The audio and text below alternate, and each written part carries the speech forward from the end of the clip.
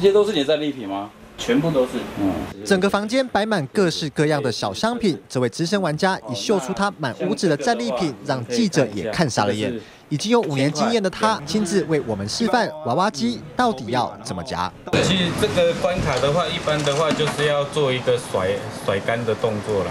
选定目标，把夹子移到上方，再摇动摇杆，让夹子来回晃动。但即便是资深玩家，硬币也是一个一个不断投进去，因为这种娃娃机本来就很难夹，所以它就是必须用一个摆荡的方式来夹它。你不能这样子直上直下，这样子没有用啊。原来娃娃机还有分等级，里面商品价值越高的，就会设计的越难夹。一般的话，我们会挑挑材质来夹啦。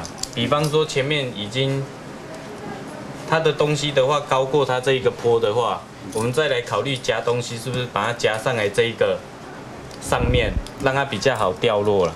连高手都说有困难，也难怪会有民众花了大把银子，却怎么也夹不到东西。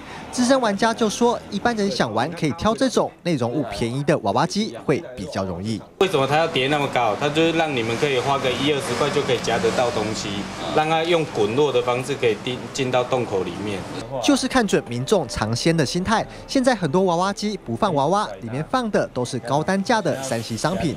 但这种机台若技术不够，想玩可能。就只是浪费钱，所以你说这种机子其实都是比专业级的在玩。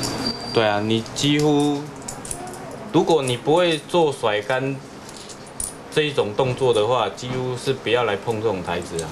所以你个人是觉得完全没被受骗的？完全是没有。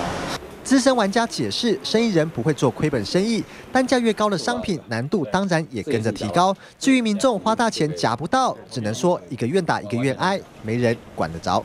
记者黄楚华、廖玉志，桃园报道。